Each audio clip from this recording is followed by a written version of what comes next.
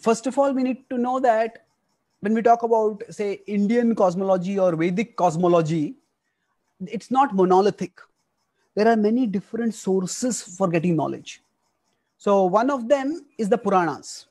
So one of the Puranas is the Bhagavatam. It is we call it Srimad Bhagavatam. It is also known as the Bhagavat Puran or the Bhagavat Mahapuran. And there is another genre of literature which also gives descriptions of cosmology, and that is called as Jyotisha Shastras. So now within the tradition, it is understood that the Puranas describe the universe as it is seen from a divine perspective, from a higher perspective beyond what is accessible to us humans. And the Jyotisha Shastras, they describe the universe from a more accessible perspective, similar to what we humans can perceive the universe. And both these describe the universe in ways that are similar and also dissimilar. So that means within the Indian tradition itself, the Puranic and Jyotisha cosmology, they, there are significant differences between the two. Now, so the Jyotisha cosmology, Jyotisha Shastra description is strikingly similar to the description that are given in modern cosmology. So let's look at some similarities over here. So one of the Jyotisha Shastras is the Surya Siddhanta. Now, Srila Bhakti Siddhanta Saraswati Thakur, spiritual master of Srila Prabhupada, wrote a commentary on the Surya Siddhanta, and that was one of the reasons why he got the name Bhakti Siddhanta. So he was so, so now in that the distance between the earth and the moon is described, and we will see that there it is described as 253,000 miles, and according to modern cosmology, it is 252,088 miles. So there is a significant level of similarity between the distances. Now, of course, we need to know that the Earth and Moon distance also it varies because the moon is some the moon is sometimes closer, the moon goes further. There's a perigee and apogee that is there. So it varies, and even the Earth itself is moving, the moon is moving, but still there is a significant amount of similarity between these distances. And the Jyotishastras we don't know their exact author the exact time they were written but historically we do know that they came long before we had developments in modern cosmology. Now there's also the earth's diameter that is described.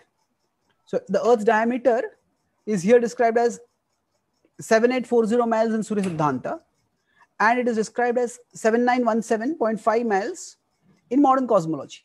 So again if the descriptions of the cosmos were simply some just pre-scientific imagination, some religious mythology, then how would we have such a precise correlation?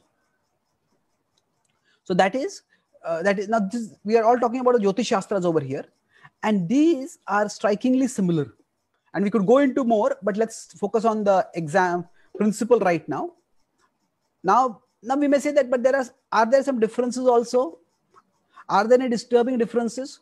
So till now, I talked about we are we are having three three sources of cosmology. One is the Puranic cosmology, the second is the Jyotisha cosmology, and third is the uh, modern cosmology. So I I give some examples of modern cosmology and Jyotisha cosmology are similar. But then what about the Puranic cosmology? Yes, the Puranic cosmology is strikingly different not just from modern cosmology, it is different from Jyotisha cosmology also. And although these differences are there, these differences didn't disturb the bhakti tradition. There is no evident tension that we can find. What do I mean there is no evident tension?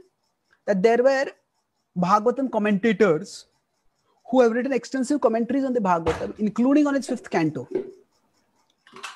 And they use Jyotisha Shastras for making horoscopes and for fixing ceremonial timings uh, called as muhurtas. So they are writing a commentary on the Bhagavatam, but when they have to do any practical work with respect to timings, that in the past astrology and astronomy were quite well connected. So for that time, they are using the Jyotishastras. They don't use the Bhagavatam. So why is this significant? That means that they accept both sources of knowledge as reliable. They are commenting on the Bhagavatam. Why would somebody comment on a book if they don't didn't consider that book to be authentic? So obviously they accept the authority of the Bhagavatam. They are great. We have Vishwanath Chakravarti Thakur or we have Jiva Goswami. These are very prominent scholars. So they are written commentary in the Bhagavatam. They accept the Bhagavatam's authority.